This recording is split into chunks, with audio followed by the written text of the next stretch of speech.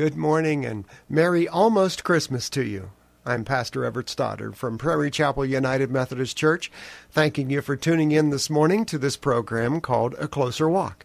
And we invite you to take a closer walk with Jesus, the newborn Jesus, this day and every day. Prairie Chapel would love to welcome you for worship today at 9:15. Today's our children's Christmas pageant, so I know you'll want to be there to celebrate Jesus' birthday.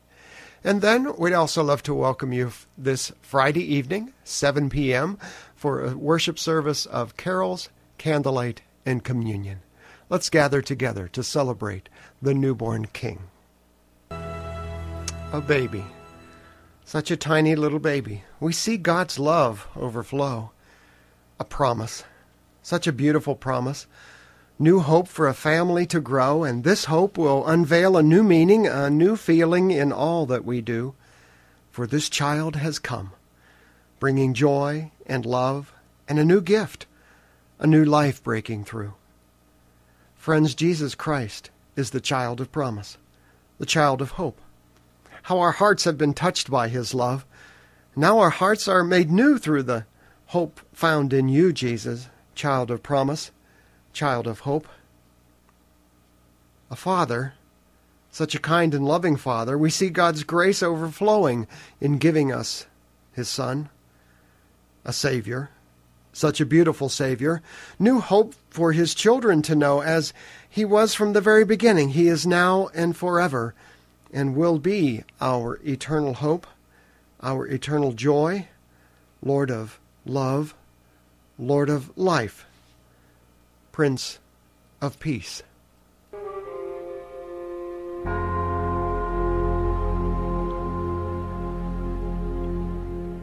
God's plan of redemption was advanced when one simple peasant girl said yes.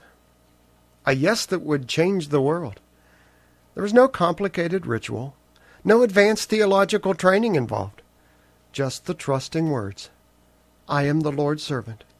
May it be to me as you have said. May it be the same in your life, in my life. Help us to cooperate with God's plan for the world by saying yes to the Lord of Lords, our King of Kings, that Savior born in Bethlehem. Even now, may we say yes to our Holy Father and be led by His Holy Spirit. Come on us so that the life of Christ may be shown through us to the needy world around us.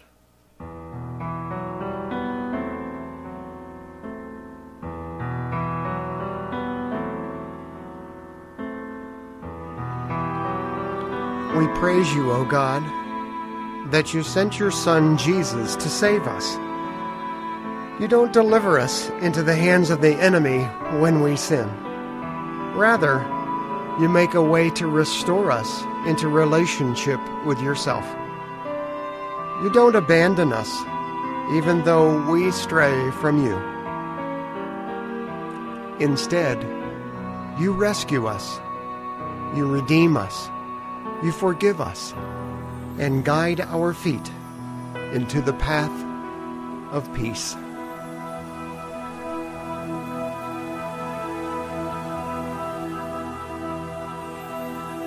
We can't comprehend that the creator of the universe would take on flesh and be born of a peasant girl. God, the one who spoke the galaxies into existence, became a speechless newborn baby. The one who gave the stars their light, veiled his own glory, and slipped unnoticed into the human race.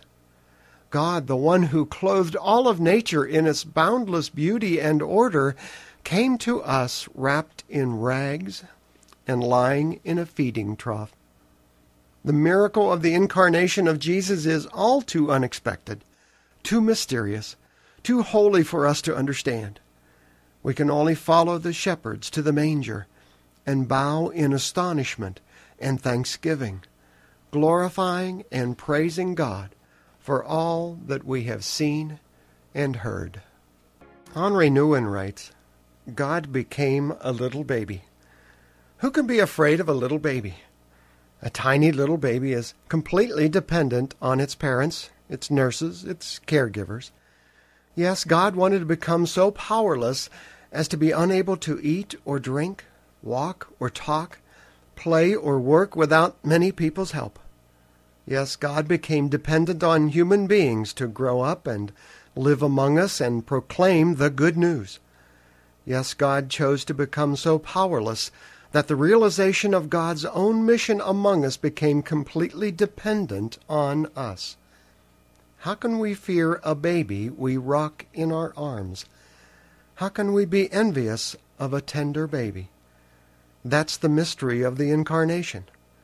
God became human, in no way different from other human beings, to break through the walls of power in total weakness. That's the story of Jesus. Have you ever noticed that children have so many of the same mannerisms as their parents? They walk, they gesture, and even laugh like their parents sometimes. Children also mimic the bad traits of their parents, too. But it is a great compliment to parents that their sons and daughters are like them. Why did the Son of God, Jesus the Christ, become one of us? Certainly not for his own benefit. The Gospel of John records it this way But to as many as received him, to them he gave power to become sons of God. C.S. Lewis says it like this The Son of God became a man to enable men to become the sons of God. God didn't become a man to impress anyone, least of all us. God was in the business of raising up us men and women to become like Him. People who walk in His ways, who act like He acted, and do what He did. Jesus became like us so that we might become like Him. Parents want their children to grow up to be like them, maybe better. Setting aside our faults for the moment, it is better for them to become like us than to stay as children. That is also our Heavenly Father's intent for us. At times it is painful when God molds and shapes us to be conformed to the image of His Son. But we become more ourselves when we become like Him. Yet to all who received Him, to those who believed on His name, he gave the right to become children of God. Put on the new self, which is being renewed in the knowledge of the image of its Creator. Yes, the best giving happened on the first Christmas, when God gave us His Son. He gave out of love to a world in need of love, but deserving none of it. When John writes that God is love, he's saying that God is a giver who thinks outside of himself, selflessly taking care of the needs of others.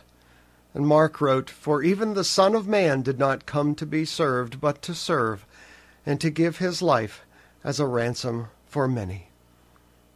Give me a heart, O Lord, that gives as you gave. I'm Pastor Everett Stoddard from the chapel on the prairie in Coshocton. Merry Christmas.